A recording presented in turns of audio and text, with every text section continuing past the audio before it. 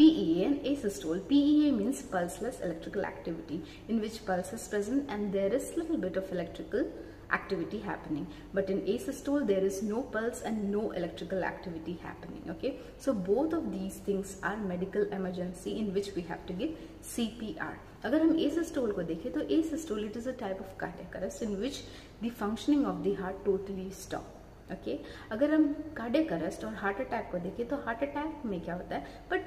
बस एक blood supply to the heart stop हो जाता है okay and the person is conscious talking breathing and you can take the person to the hospital soon get the cause treated and that person will survive okay और इस video में हम ये सीखे that हमको सीपीआर कब देना चाहिए पीईए और ए स्टोर में देना चाहिए। And if you want to learn CPR we can go to any of the institution that teachers how to give C P R and I would like to tell you that you are eligible to give